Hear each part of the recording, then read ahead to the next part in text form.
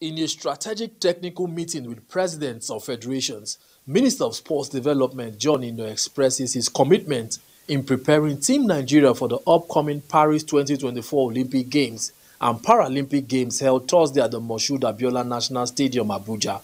He emphasizes the importance of building on the success of Nigerians' performance to surpass its best Olympic record achieved at the Atlanta 1996 Games.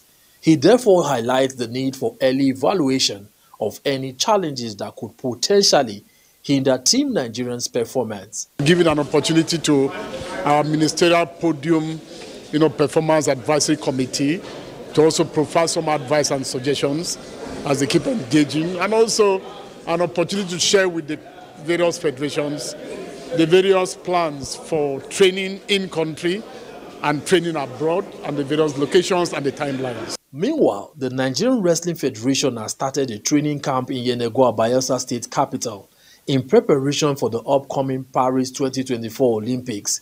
The camp, which began on May 29, 2024, will feature a total of six athletes representing Nigeria in the wrestling event, including five females and one male. One of the athletes leading the team is Blessing Oborodudu, who won the silver medal at the Tokyo 2020 Olympics. It's a stronghold for Nigeria. Uh, we're going to the Olympics with a lot of optimism, um, going with probably one of the biggest contingent to the Olympics ever. And uh, we're, we're, we're, very hopeful that uh, things will turn around for good. The end of the 2023-2024 campaign is drawing even closer as Saturday's Champions League final will bring the curtain down and another enthralling season of European football. Borussia Dortmund and Real Madrid will both head to Wembley this weekend to chance their arm at the ultimate prize in club football with storylines on both sides, making this a seriously exciting prospect.